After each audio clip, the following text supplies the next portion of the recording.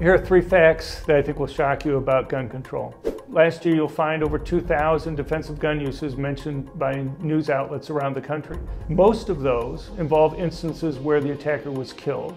Next, close by is wounded, and only about 4% involve instances where the attacker was held at gunpoint or brandishing a gun, stopping the attack. It's not too surprising why that doesn't get news coverage compared to a case where there's a dead body on the ground.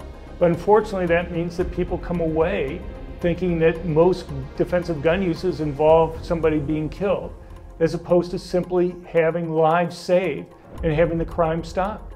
Another claim that we frequently hear in the media is that the United States is somehow unique in terms of mass public shootings. But that's simply false. The United States makes up less than 1% of the world's mass public shooters. And yet, we make up over 4.5% of the world's population. We're way below the world average. You know, the third thing is just where these attacks occur.